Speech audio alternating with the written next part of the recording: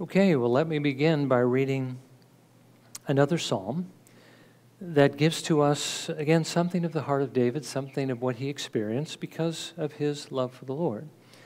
And let me just mention at the outset, if I haven't already, that I'm, I'm not going to be dealing just with this psalm, but I'm going to be dealing with different aspects of different psalms. So there's going to be a few of them quoted, but primarily this one, and then towards the end, primarily Psalm 23. How can we not talk about Psalm 23? Uh, and we're not going to cover everything that David experienced, but just some, some examples of some of the main things, okay? Some of the main things that love will do in our hearts toward the Lord and towards others. So, Psalm 63, and I chose this one mainly because of just the desire that David expresses here.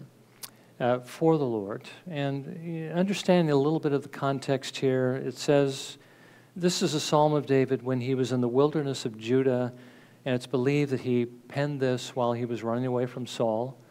Uh, Saul was trying to kill him. Again, another example of Saul's you know, lack of love for the Lord. Um, but being in the wilderness, he was separated from the different things that the Lord uses to reveal himself. And you might say, from the presence of the Lord, not absolutely, but since the tabernacle was was there, uh, you know, the, he was cut off from those symbols that the Lord, you know, uses. He, he in those days used various things to um, uh, kind of, you know, I want to say, tabernacle among men uh, in in the tent of meeting. And I forget exactly the logistics, but being away from Jerusalem and being separated gave David this longing for God, okay, to, to be back where these different symbols of his presence were, were kept. So this is what he writes. He says, O God, you are my God. I shall seek you earnestly. He could still do that in the wilderness. God is everywhere. My soul thirsts for you. My flesh yearns for you in a dry and weary land where there is no water. Thus I have seen you in the sanctuary to see your power and your glory. Because your loving kindness is better than life, my lips will praise you. So I will bless you as long as I live.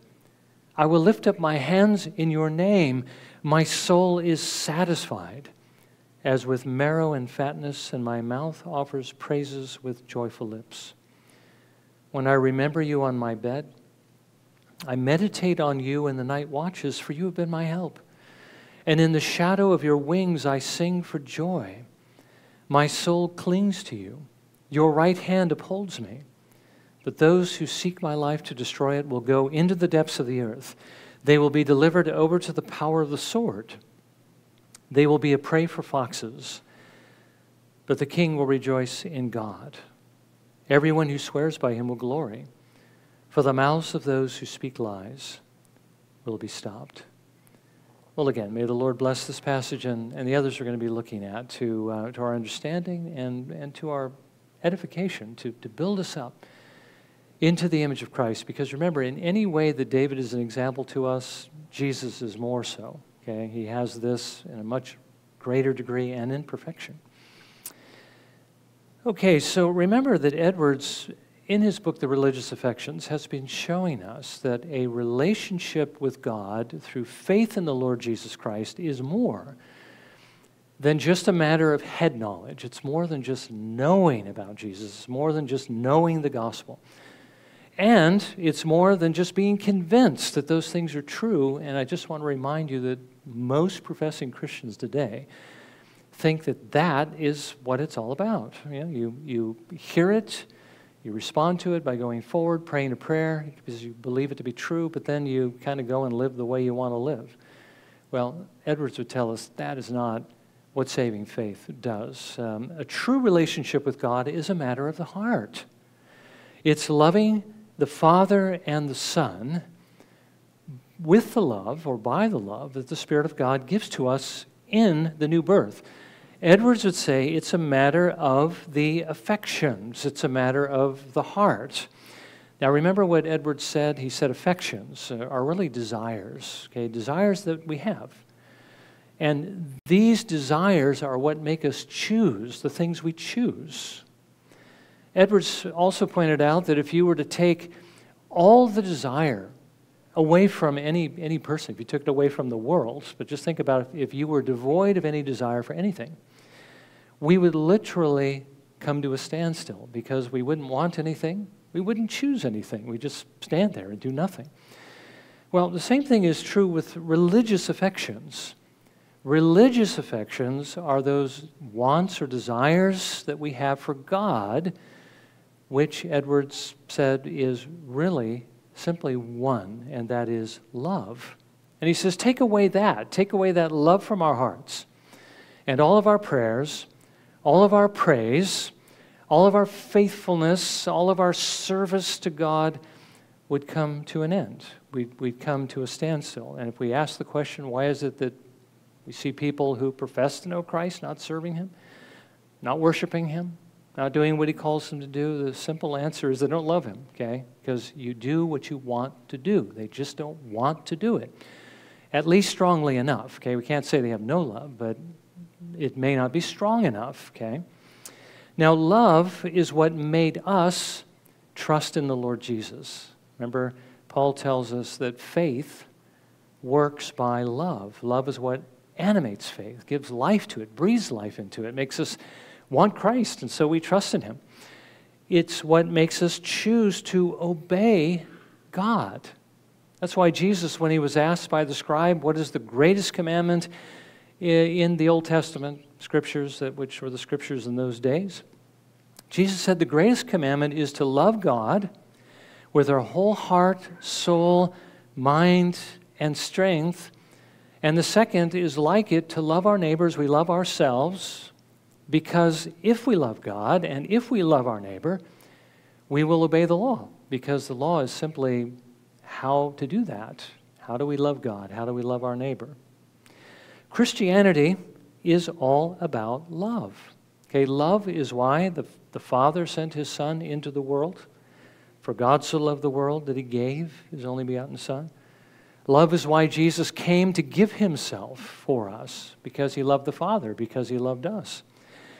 Love is what the Spirit of God gives us when he enters into our souls. Remember, the fruit of the Spirit is love.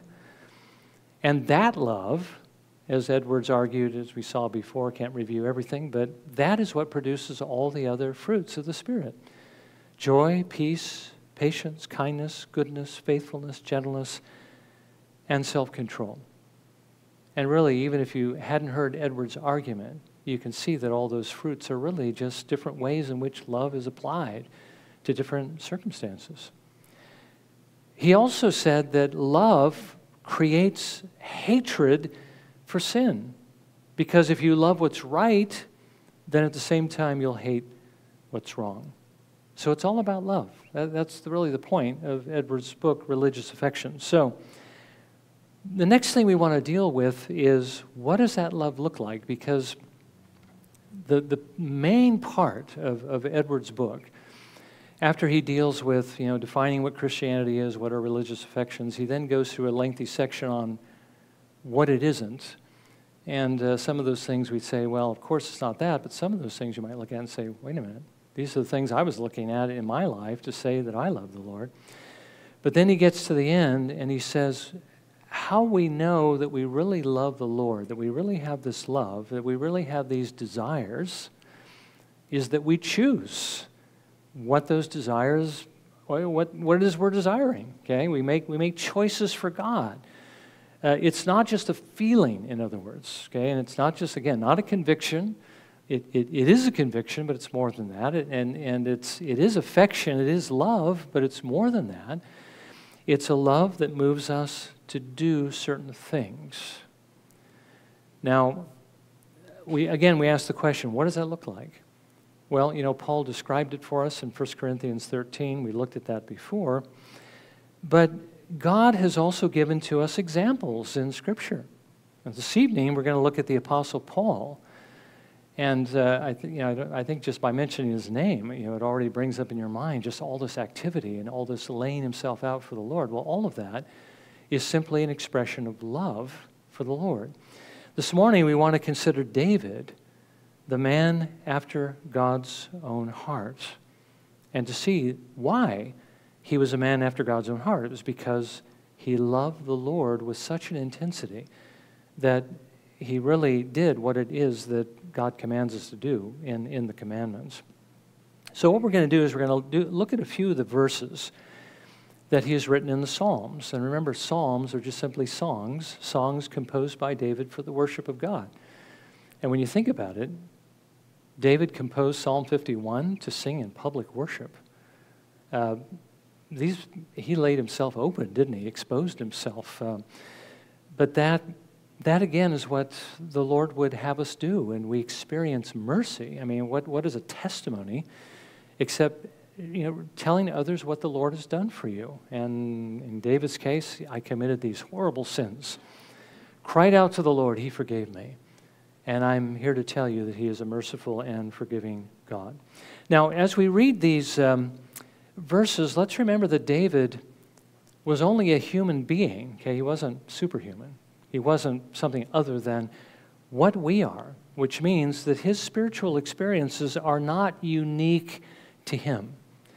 We, we have that same spirit, we have that same heart. So, this is something we can experience, and this is something we should really strive to experience in our lives. Now, when we're talking about the Psalms, let's remember that even though Jesus is you know, revealed in, in the Psalms, it, it's hard to sort out you know, when, when it's the Father, when it's the Son. So we're going to talk about David's love for God, okay?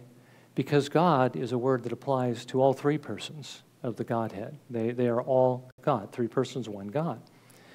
So, first of all, and again, I'm going to make these applicational points because that's what we want to draw from this. I mean, that's what we, when we go to the Psalms, that's what we go to the Psalms to do is to figure out what am I supposed to be experiencing as a, as a believer? You know, what, what should I think of this? How, how should I respond? How can I confess my sins? Or how should I repent? So we're going to try to apply these things.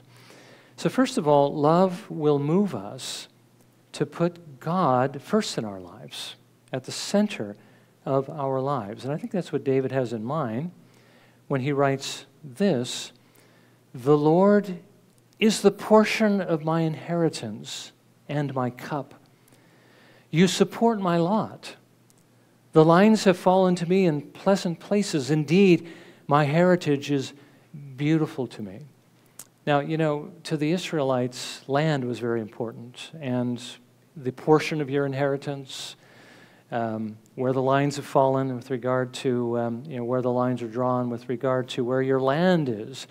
Well, David didn't look at the land as, as that which was most important to him, but rather the fact that the Lord was his inheritance. The Lord was his portion. The Lord was the, the one who satisfied the cup from which he could drink. He says, The lines have fallen to me in pleasant places. Indeed, my heritage, my inheritance, is beautiful to me. He considered the Lord to be beautiful. Okay? And so he, he you know, considered that to be satisfactory. He had the Lord, that's all he needed. Now, when God says in the commandments in Exodus 20, verse 30, you shall have no other gods before me, you know, this is really what he's talking about. That we put him first, that we make him the center of our lives. Jesus uh, spells that out a bit more clearly in Matthew 10, verse 37 when he said to those who would be his disciples, and remember, when he says this about himself, it also refers to the Father. Okay, there's really, Uh, you know, it's, it's again hard to separate it. We, we, we love the Father, Son, and Holy Spirit. Okay, so Jesus says this He who loves father or mother more than me is not worthy of me. And he who loves son or daughter more than me is not worthy of me.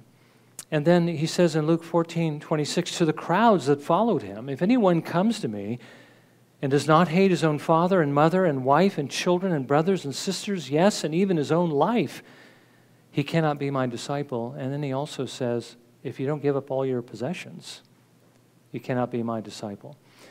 All right, so he doesn't mean, of course, literally, but he does mean we must be willing. Okay, our love for Him must outstrip all these other things. And these other things must be so far second that by comparison to our love for the Lord, they're actually hatred in comparison because we know Jesus doesn't tell us to hate father, mother, wife, children, and so forth. We don't hate our lives. Nobody ever hated his own life. Uh, we, we all love our lives. We take care of our lives, don't we? But he means by comparison, our love for him must be greater. So now think about what it would mean to put God first in our lives in this way. It would mean, and I'm just going to give a couple of examples that generally, okay, his priorities must be our priorities. Okay? Pleasing him, serving him must be more important than pleasing and serving ourselves or anybody else, right? We have to do what honors him. We have to obey God rather than men. Remember how the apostles responded to the Sanhedrin that said, Don't preach in the name of Christ anymore. We, we love God enough to risk our lives, to do what is honoring to him, because, again, we love him. And um, we're willing to honor you if you're going to command us to do what you have the right to command us to do, but you don't have the right to command us not to do what God has called us to do. Well, putting God first, this, this is what it means to love Him. Now, secondly, love will make us yearn for the Lord. Okay, yearn for nearness to Him. Now, we know that when we're, you know, when we don't have enough food, we haven't eaten enough food, we, we become hungry. And that hungry is kind of a yearning for food. It makes us yearn for it, doesn't it? And when we need water, we become thirsty, and that's a yearning for water. Well, it's in the same way if we yearn for God, okay? We will sense a need of Him. Uh, as a spiritual kind of thirsting. And here we have Psalm 63, which I've already read. David writes, O God, you are my God. I shall seek you earnestly. My soul thirsts for you. My flesh yearns for you in a dry and weary land where there is no water. And really, again, think about this for a moment. What's our experience when it comes to God's nearness? Do we have this desire, this yearning? Now, Jesus again said in the Beatitudes, Blessed are those who hunger and thirst for righteousness, for they shall be satisfied. Uh, what does that mean? Well, it means we, we should want to live a righteous life, to do what's right. We should want others to do that. We should want our government to do the right thing. We should want others to do the right thing. But it also means to hunger and thirst for God, right? Because He is the righteous one uh, if, if we have this love that Jonathan Edwards talks about, this, these religious affections, remember that love is for something in particular a love for holiness, a love for righteousness, a love for that which makes God lovely to a believer. And that is his character, his righteousness. Well, Jesus says, Blessed are those who hunger and thirst for righteousness. Well, God is the one who is righteous, so we will hunger and we will thirst for him. We will want to draw near him. And of course, then we will, okay? We will seek him because the only way we can get close to God is by seeking or by pursuing him uh, through the means that, that he's given us. And by the way, if we're his children and we don't do that, he will pursue us, and that's called discipline, okay? Uh, but we should be seeking him, uh, to be drawing near to him. Um, the problem is when we sense that everything's going well, we tend not to do that. It's when things get rough that we begin to seek the Lord. But we should seek Him all the time. Otherwise, He will, He will seek us. So the Lord calls us to do that. Uh, one of the, one of the uh, Psalms, uh, Psalm 27, verse 8, David writes this. He says, When you said, Seek my face, my heart said to you, Your face, O Lord, I shall seek. That's again the heart of a, of a person who loves the Lord. Uh, don't, you don't even need the command because you already want Him. You're just waiting for Him to open the gate so you can go. Well, there is no gate, okay? We're always able to come to Him. And Jesus reminds us in Luke 11, verse 9, that if we do seek after Him, that we will find Him. I mean, what he says here with regard to prayer. So I say to you, ask and it will be given to you. Seek and you will find. Knock and it will be open to you. There is nothing that will keep us from finding the Lord if we will simply seek Him. Now, David began every day seeking the Lord. Okay, he started his day off by doing this. He says in Psalm 5, verse 3 In the morning, O Lord, you will hear my voice. In the morning, I will order my prayer to you and earnestly watch. Now, he may have been looking for a particular mercy, but David, I think, always was looking toward the Lord. You always want to see the face of God throughout the day in whatever you're doing. And when you didn't see the face of God, that is a troubling thing. And what is that face? You know, well, it's the, the face of his blessing. His countenance shines on us. Remember how the Aaronic blessing, the Lord bless you and keep you, the Lord make his face to shine upon you and be gracious to you. When you sense the Lord's love and his nearness, okay, that's what this is. And when David didn't sense that, it was very troubling to him. He says in Psalm 13, verse 1 How long, O Lord, will you forget me forever? How long will you hide your face from me? So he sought for this face. He wanted to see God's face, the, the face of his countenance, his, bless, his, you know, his, his face of blessing towards him at all times. And when he knew that it was there, it brought him the greatest joy and satisfaction. Again, I'll turn to Psalm 63, verse 3. Because your loving kindness is better than life, my lips will praise you. So I will bless you as long as I live. I will lift up my hands in your name. Yeah, I mean, you don't have to be charismatic to lift up your hands, right? My soul is satisfied as with marrow and fatness, and my mouth offers praises with joyful lips. This is how David responded when God's face of blessing was shining towards him. So, if you love the Lord, you'll want the Lord to be near, and you will be, of course, grieved when you sense that He is distant. Okay, fourthly, loving the Lord means we'll think about Him all the time. Okay, love focuses our attention on the object of that love, on those whom we love. Now, David says, well, think about who he is. Well, think about what he's done.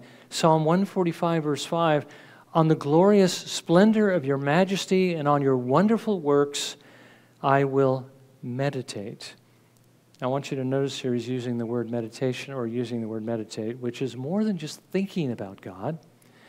It's more of a mental examination of God, mulling him over, you know, turning him as it were, in your mind, at least what you know about him, just turning it over and over to see everything you can see about him, to sort of view him from every angle. You know, and that's what meditating on the scripture is, is like. I mean, some have likened it to um, a cow chewing the cud, you know, getting, trying to get every drop of nutrient out of it. Uh, but that's what meditation is thinking about it, thinking about how it applies. Uh, John Frame used to say that Knowledge is application. You know, you may be able to memorize a verse, but you really don't know what that verse means until you can apply it. And the more you can apply it, the more you know about it. Okay, so knowledge is application, he would say. But you don't get to that kind of knowledge or application unless you meditate on it. Well, you know, we can, the same thing is true of God. Whatever the Word of God reveals about God, we need to think about those things. We need to mull them over. We need to meditate on them. So we will think about what he's done, we'll think about who he is. It also means we're going to look for the things he reveals wherever he reveals them so we can admire them, okay? And we'll do that all the time. David writes in Psalm 63, verse 6 When I remember you on my bed, I meditate on you in the night watches. Okay, so we'll We'll meditate on God, and as I just said, we'll also look for Him wherever He reveals Himself. David talks a lot about seeing God's glory in the creation. Psalm 19, verse 1 The heavens are telling of the glory of God, and their expanse is declaring the work of His hands. When He looks at the creation, especially in His day, when there weren't all the street lights, you know, and city lights and so forth, and you could look up when you get away out into the mountains somewhere into the desert, you look up into the night sky, it's like, wow when I look at that, what did, what did David think when he saw that? God's majesty and his glory. He says in Psalm 8, verse 1, O Lord, our Lord, how majestic is your name in all the earth, who have displayed your splendor above the heavens. So when you look at the creation, you will see God. You'll see the one you love behind what, what it is that has been created. He's, he's inescapable. You can't look at these things and not see him, particularly if you love him. But that's what you'll focus on. We'll look for him also in the law of God, okay? Because the law is really an explanation of his character. You know, if, we, if I were to ask you, what is the standard by which Jesus lived, what would you say? Well, it's the law of God. And what is it that Jesus came to do? To reveal the Father, to show us what he is like. Well, the law is what, he, what he's like. He loves what is good and right. Okay? And that's why when we read the law of God, we'll find it to be precious, not because we'll look at it as a way by which we can be saved. Okay, that's legalism, remember? Um, if I do it, do this and you will live, that's, that's legalism, that's destroying the gospel. But there is an evangelical obedience, okay, which looks at the law and says, These things are pleasing to the one I love. And if I am to express my love to him, this is how I am to do it. If, this, if I'm going to love my neighbor, this is how I'm going to do it. So, out of love for the Lord and for my neighbor, I do these things. So, I'm not doing them to save myself, I am doing them to please God because I love him. And that's evangelical obedience. And that's the way David looked at the law in Psalm 19, verses 7 through 10. The law of the Lord is perfect, restoring the soul. The testimony of the Lord is sure, making wise the simple. The precepts of the Lord are right, rejoicing the heart. The commandment of the Lord is pure, enlightening the eyes. The fear of the Lord is clean, enduring forever. The judgments of the Lord are true, they are righteous altogether. And then notice this last statement they are more desirable than gold. Yes, than much fine gold, sweeter also than honey and the drippings of the honeycomb. Edwards just saw this as an expression of that, that relish that David had because of God's grace in his soul, because of that love.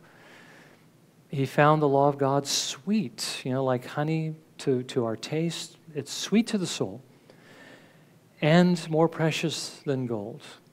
And really, if, if this were true of us, if this is the way we looked at it, we would pursue this, the law of God, the wisdom of God, to be able to please God, uh, more than we would pursue the things of the world, right?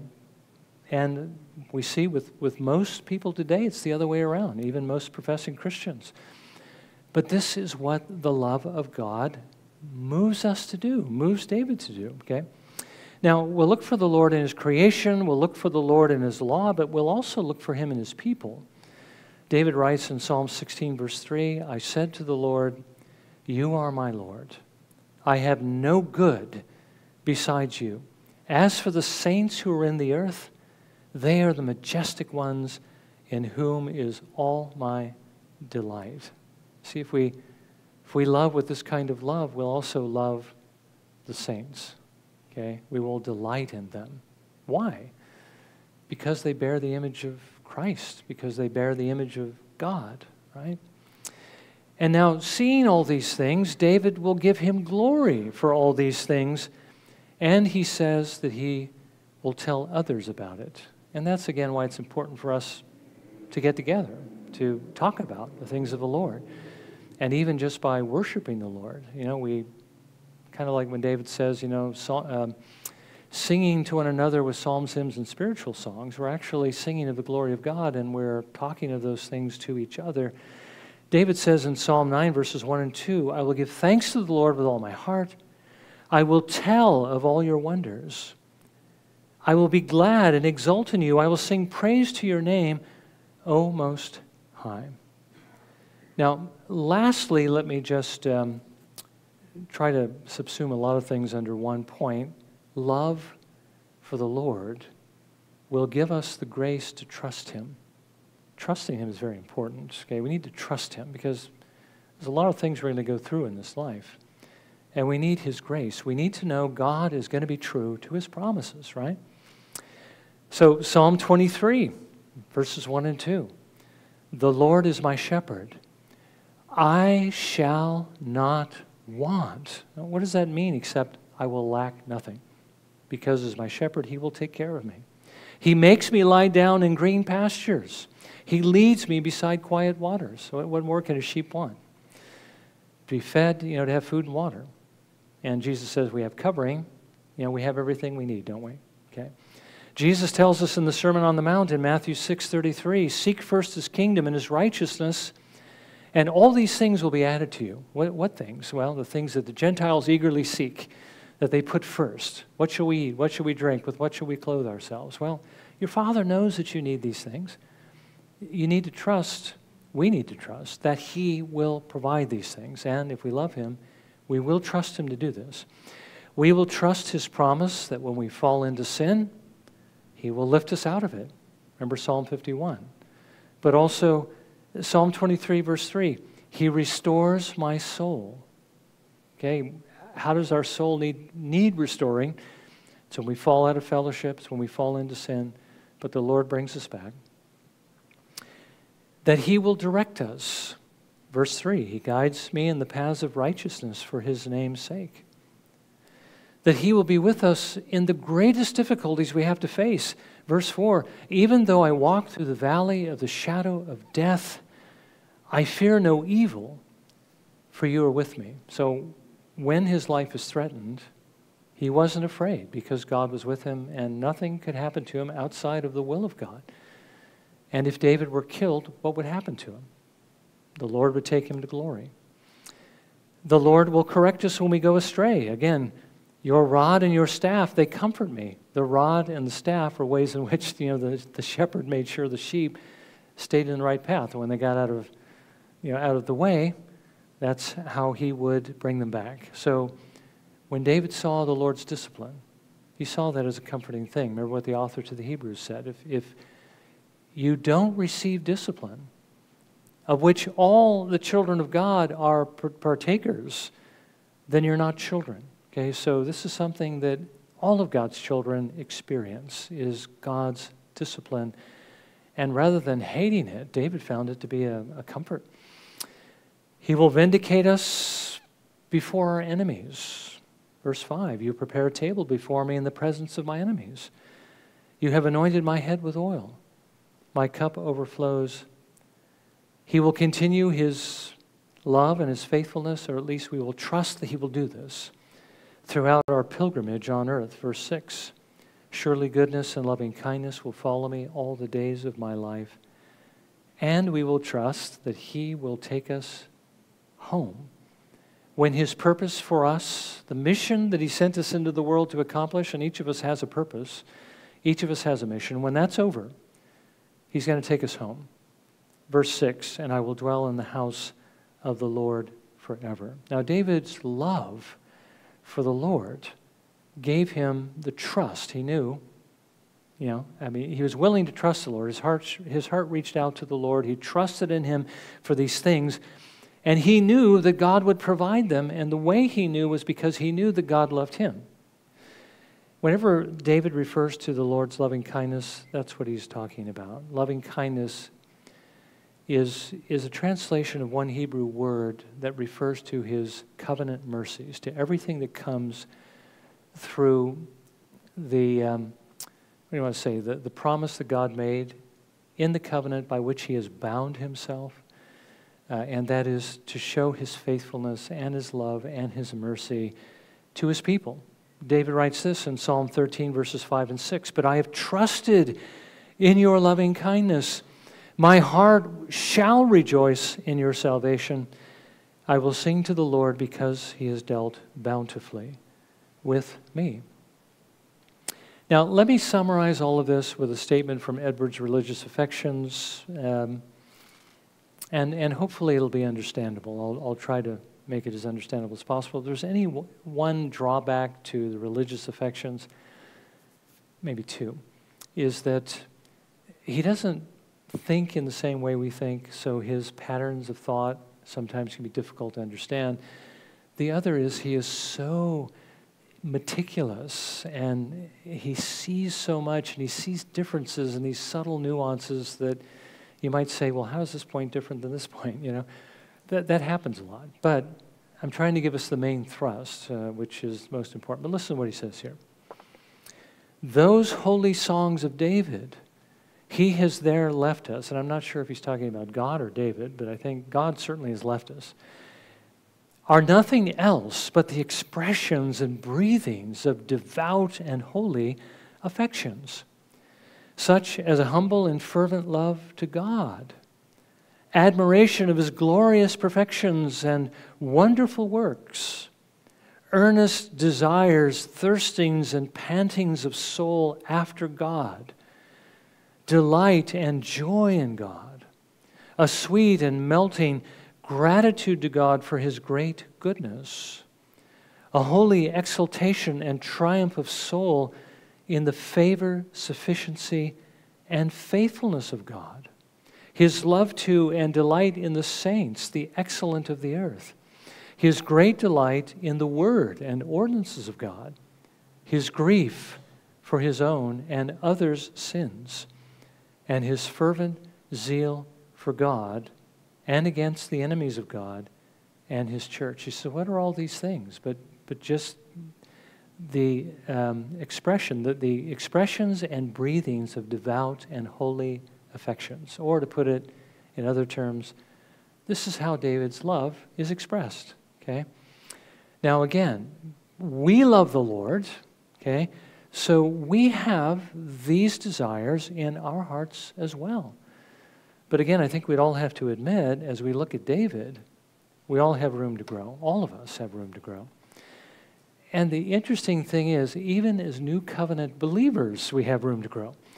Because there's a difference between Old Covenant believers and New Covenant believers. New Covenant believers actually have more, we have access to more of the Spirit's work. And that's considered to be the main difference between the Old Covenant saints and the New Covenant because Jesus pours out His Spirit. And we have access to that power and that influence. But even with that, okay, I think we would say David's love still far outstrips our love for the Lord. Now, that's meant to be somewhat of a, a rebuke to us, isn't it? But it should be also be an encouragement, okay? Because what, again, David experienced, we can experience. So let's be encouraged by this example to seek a closer communion with God so that we can grow in this love uh, for Him. And then as we do, we'll experience more of what David experienced. Well, let's, uh, let's bow in a moment of prayer and let's ask the Lord to help us again to apply what we've heard. And let's remember, too, that as we pray, we should pray that the Lord would prepare us to also to come to the table, because one of the ways this love is strengthened is by remembering the love of Christ for us, but also receiving what Jesus has to give us in the Lord's Supper, which is, again, the influence of the Spirit. He's feeding us spiritually, He is stoking the love that is in our hearts for Him through the meal here. But we have to receive it by faith. We have to know it's available. We have to know where to look. We need to look to Jesus. So as we pray, let's, let's prepare to do that, um, to come to the table and to receive what He has for us.